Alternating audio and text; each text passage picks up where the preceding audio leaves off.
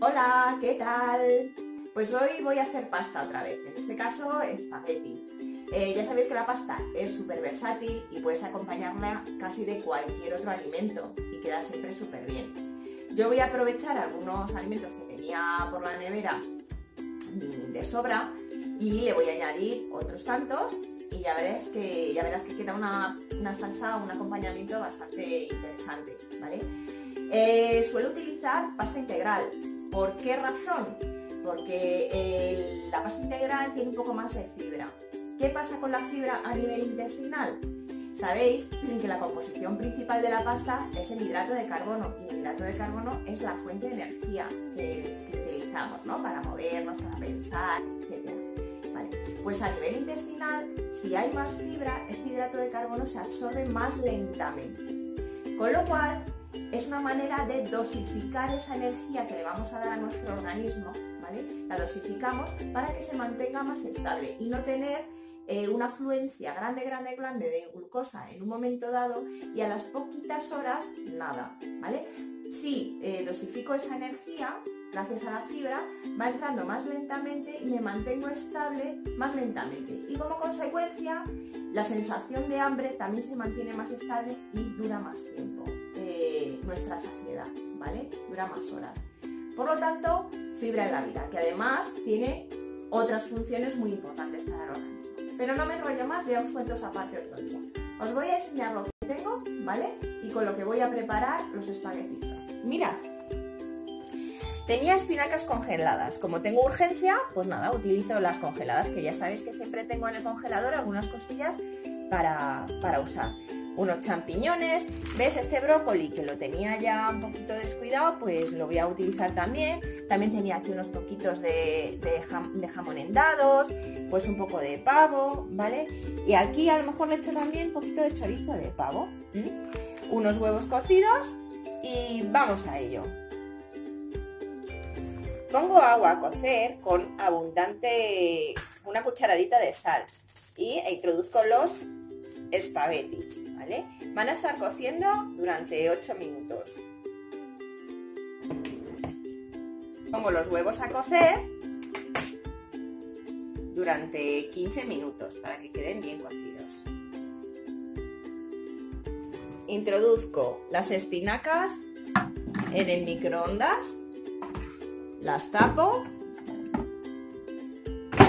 y las cocino durante 4 o 5 minutos. El brócoli lo he cortado en ramilletes pequeñitos y lo introduzco en el microondas. Si quieres lo puedes tapar también. Dos minutos. Con dos minutos vale.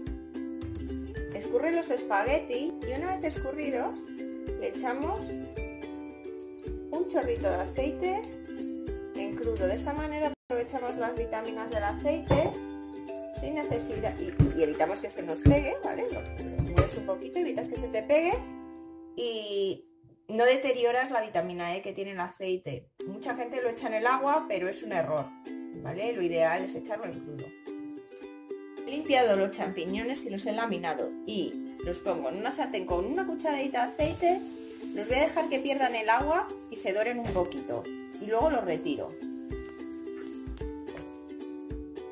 Mira, 5 minutos a fuego vivo, enseguida se ponen dorados los champiñones.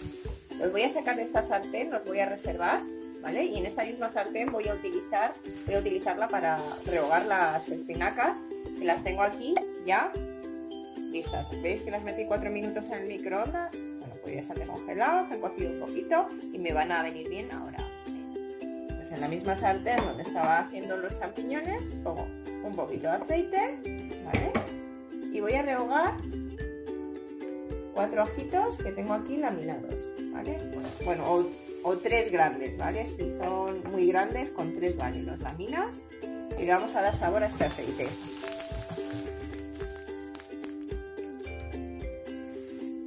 Cocina se suele decir ajo cocido, ajo perdido, así que tienes que tener un poquito de paciencia hasta que estén un poco dorados. Cuando están dorados, añado los taquitos de jamón que tenía eh, de sobra en la nevera, las sobras de la nevera, y veis el pavo cocido que he cortado en tiritas.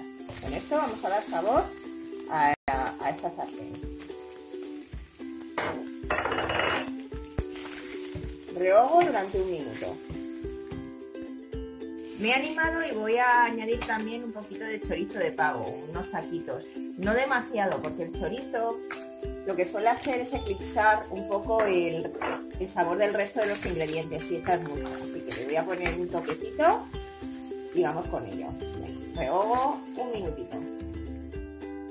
Una vez que esta sartén ya tiene un poquito de sabor, este aceite, ¿no? Con el ajo, el chorizo, el pavo, eh, el jamón, pues vamos a añadirle las espinacas, que habíamos descongelado. Vamos a darle fuego fuerte y las vamos a rehogar durante unos minutos. Añado el brócoli, que previamente había metido, introducido en el microondas y se ha cocido un poquitito, con lo cual ahora se va a rehogar fácilmente.